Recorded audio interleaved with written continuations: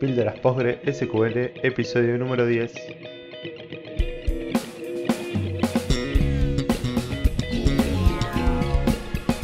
Hola, ¿cómo están? Buenos días a todos y bienvenidos al episodio número 10 del podcast Píldoras Postgre SQL.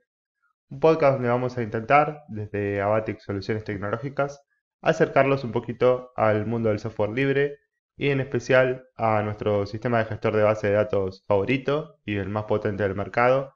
Estamos hablando, como siempre, de PostgreSQL. Antes que nada, me presento para quienes nos vienen escuchando desde hace bastante. Se habrán dado cuenta que no soy Emilio, la persona que los acompaña episodio a episodio.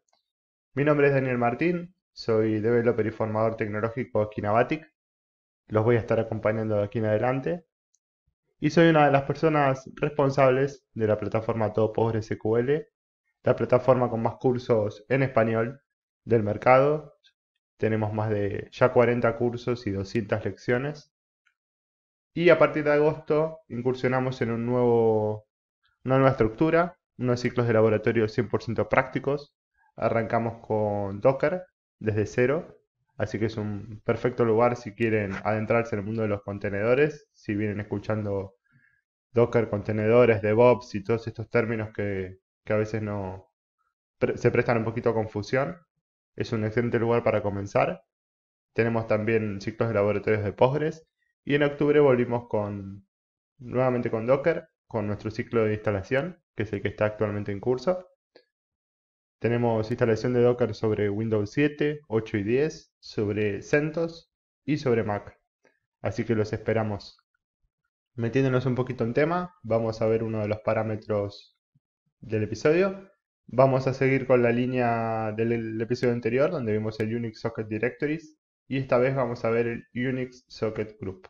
Este es un parámetro que tiene la misma categoría, Connections and Authentication, conexiones y autenticación, si lo vemos un poquito más en detalle, vemos que mantiene el mismo contexto, postmaster, lo cual nos va a requerir reiniciar para guardar los cambios correctamente. Tiene un tipado variable de cadena o string. Mantiene la misma categoría, como les decía, Connections and Authentications, y tiene como subcategoría Connection Settings o configuración de la conexión. Vamos a ver qué hace exactamente este parámetro y nos devuelve el grupo dueño del socket del dominio Unix. Recuerden que cada usuario tiene asignado un grupo dentro de un sistema Unix. Aquí les dejamos el link a la documentación oficial. Por defecto va a devolvernos una cadena vacía, pero va a agarrar siempre el grupo asociado al usuario que generó el, proceso, que arrancó el servidor. ¿Cómo vamos a comprobar el valor de este parámetro? Tenemos dos maneras muy fáciles. La primera es la clásica consulta a la base de datos a través de un select. En este caso, en el ejemplo, vemos que está pidiendo un name, un setting, category, short description, context y bar type. Todo esto lo traemos de pgsetting, donde name es igual a unix-socket-group. También podemos utilizar el metacomando show, utilizando show espacio unix-socket-group. Si hacemos una rápida búsqueda por GitHub, vamos a ver que es un parámetro que se utiliza en múltiples ficheros. Vemos, por ejemplo, que lo utilizan Postmaster. También se utiliza en otros ficheros de configuración y de conexión de cliente. Así que por, por hoy terminamos aquí. Espero que les haya servido y hayan aprendido algo nuevo. Como siempre, si les gustó el podcast, les pedimos por favor que nos compartan en redes sociales.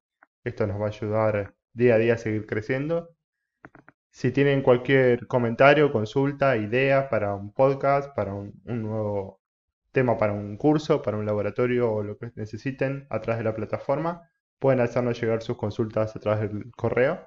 Y si son suscriptores de todo PostgreSQL, recuerden que tienen el acceso más rápido a través de la intranet. Se van a poder poner en contacto tanto con la gente de soporte como con la gente, los docentes que hacen los cursos. Así que cualquier necesidad que tengan estamos siempre a su disposición. Y bueno, espero que esto les haya interesado y nos vamos a ver en el próximo episodio. Un saludo para todos.